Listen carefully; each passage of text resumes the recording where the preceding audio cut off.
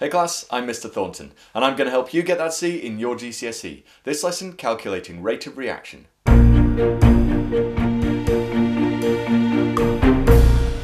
This topic was requested by Danny Becker, Ijaz YouTube, Rachel Elvin, Tharasan Kanaga Sabai, Rhodesman Zudin, and Specker.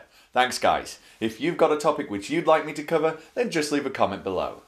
Here's a little tip.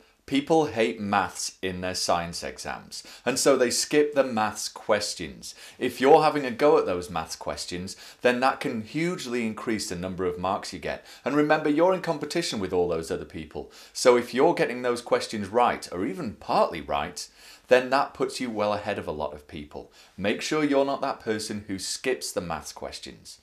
Now there's some maths in chemistry, rate of reaction is one of the bits which you're going to see, and it's pretty easy actually. A lot of people are put off straight away and will totally leave these questions behind, but I hope by the end of this video you're going to see it's pretty straightforward. Whenever you're talking about a rate of anything, it's how quickly something changes over time. So usually what you're going to be doing in that calculation is you're going to be dividing by time. And that's exactly what happens with the rate of reaction. You're always looking at either how much product you've formed over time or how much reactant you've used up over time. And so you've got two equations which are pretty much the same sort of thing. You can either get rate of reaction is amount of reactant used divided by time, or you can get rate of reaction is amount of product formed divided by time. So you're always dividing by time, and that's true for any rate calculation that you're always looking at how it changes over time. Now that might be time in minutes, it might be time in seconds, it might be time in hours, and it doesn't really make a difference. You're doing the same calculation each time. So let's have a look at a couple of quick examples to see just how easy this is. Let's imagine we're looking at the thermal decomposition of limestone. And if you don't know what I'm talking about, now would be a good time to have a look at my video on the limestone cycle. It's pretty simple.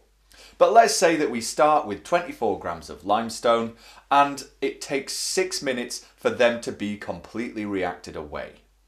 Our calculation is just going to be the amount of reactant which we started with divided by the time taken. So we started with 24 grams of limestone.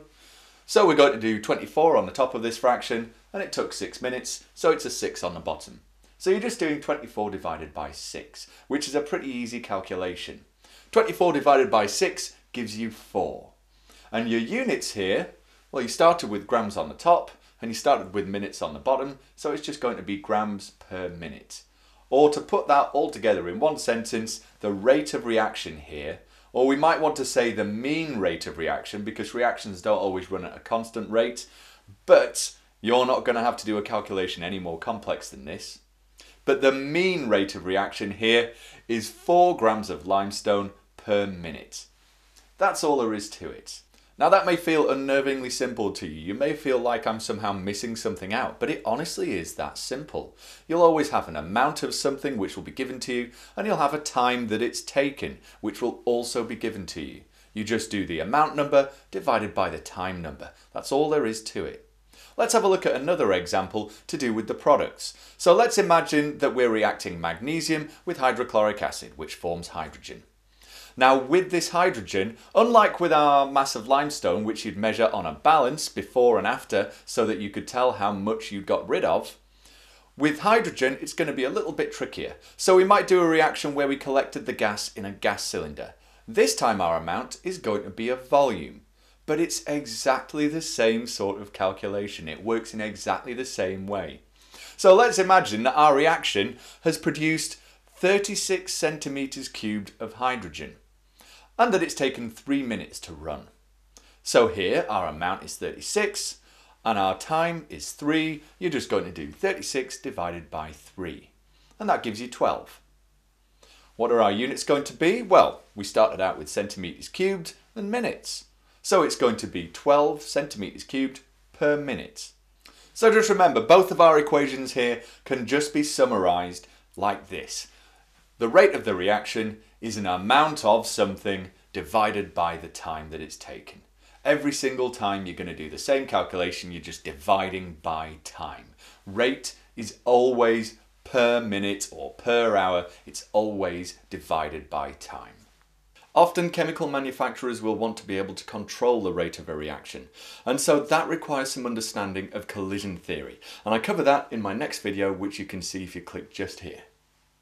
I hope that video really helped you. To see what else I can help you with, there's lots more videos to check out on my channel. Scroll down the main page there to see I've already sorted them into playlists to help you find the video you need. You can also check out my revision guides which cover everything you need to know for the exam. They feature links to my videos, revision tips, cover both foundation and higher tier, and unlike a lot of revision guides, they also point out what you don't need to waste time. If you want to check your learning, try the SnapQuiz website and app, which allow you to identify which areas you need to spend the most time learning.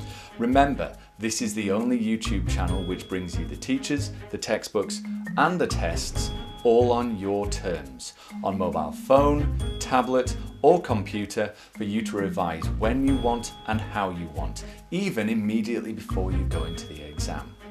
All of these links and any others for this video will be down in the description. Lastly, it really does help my channel if you want to leave likes, if you subscribe, or, if you know someone else who's having trouble, tell them to search for Mr. Thornton. Good luck in your GCSEs everyone, and thanks very much for watching.